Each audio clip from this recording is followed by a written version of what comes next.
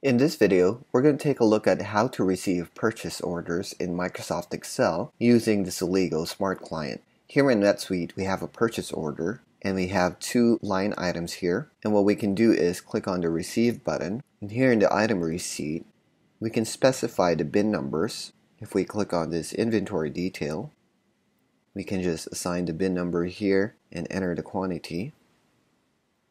And do that for the other item as well.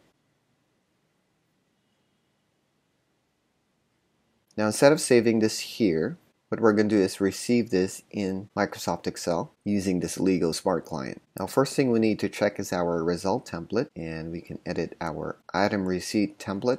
Let's go next here. Now here we can select the fields that we want to appear in the item receipt template. First is we have this transaction ID to show us the transaction number of the item receipt and we have the created from which is the purchase order that we're receiving.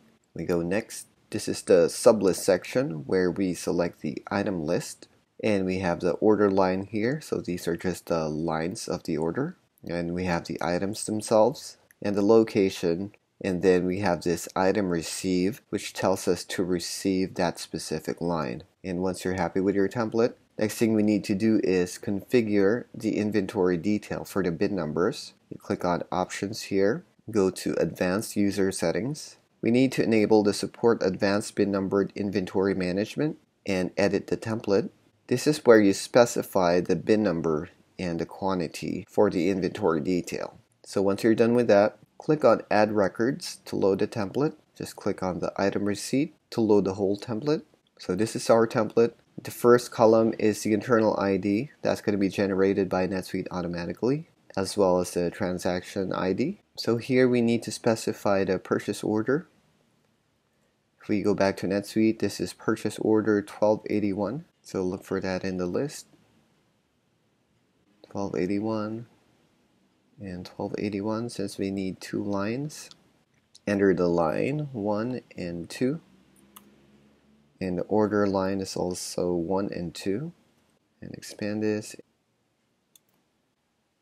and the item is this one right here. And this one. And just specify the location there. And for item receive we're just going to say true since we're receiving both lines. Quantity of one each and the bin numbers. If we go back here inventory detail we can see 1001. So that's 1001 and this one's 1002. And that's it. At this point, just click on Update All and this will create the item receipt for this purchase order. Now if we go back to NetSuite, let's click on Purchase Order. We can see that the purchase order has now been received. And if we'll look at related records, we can see the item receipt here. And here's the item receipt and you can see that the inventory detail has now been assigned 1001